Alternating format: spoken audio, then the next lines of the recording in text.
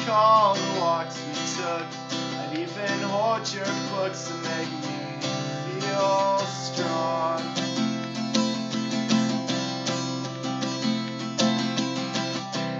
And the day my backpack broke, you gave me yours, and I thought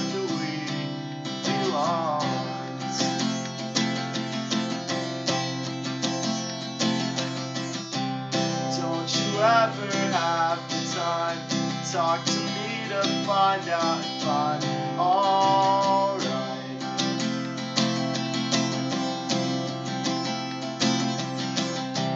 So I'll tell anyone that asks that I'm great when I'm really just fine.